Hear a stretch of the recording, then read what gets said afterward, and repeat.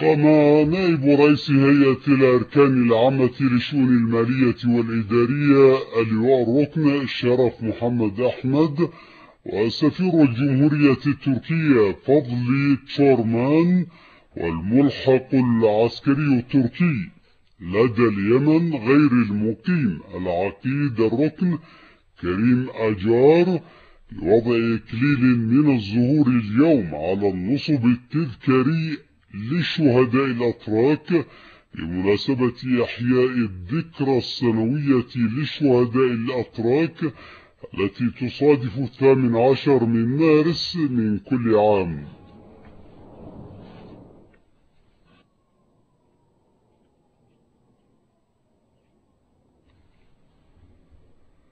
وقد عزفت الموسيقى العسكرية السلام الوطني للبلدين الشقيقين فيما ردد عدد من الزهرات والأشبال الأتراك النشيدين الوطنيين.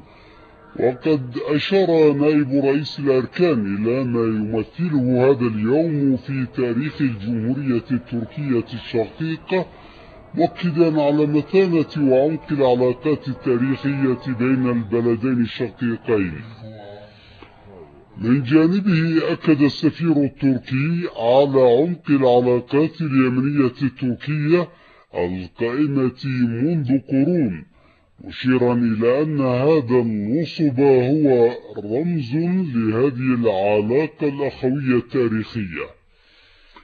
حضر الاحتفال عدد من السفراء المعتمدين بصنعاء من الدول الشقيقة والصديقة وعدد من القيادات العسكرية والمدنية وعدد من أبناء الجالية التركية في اليمن.